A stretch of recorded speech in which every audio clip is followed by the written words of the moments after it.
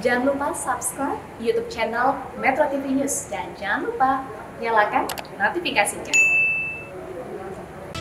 Kembali di zona bisnis, PT Garuda Indonesia Tbk mengembalikan dua armada pesawat jenis Boeing 737-800 NG kepada salah satu laser pesawat.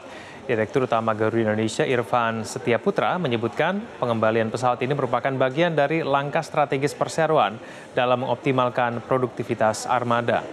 Dalam keterangan tertulisnya, Direktur Utama Garuda Indonesia Irfan Setiaputra menjelaskan percepatan pengembalian pesawat dilakukan setelah ada kesepakatan bersama dengan pihak laser, menurut Irfan, langkah ini perlu dilakukan untuk mengurangi tekanan kinerja usaha akibat pandemi COVID-19.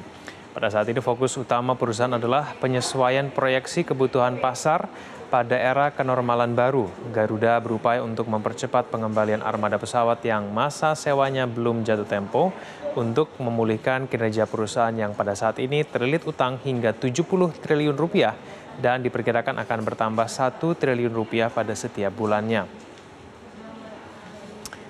Kode pesawat, maksud kami kode panggilan di pesawat Garuda diketahui telah berubah dari PK atau Indonesia menjadi VK atau Bermuda. Pengamat kebijakan publik Agus Pambagio mengunggah gambar ini dalam akun Facebooknya dan menyimpulkan pergantian kode pesawat itu karena Garuda menunggak leasing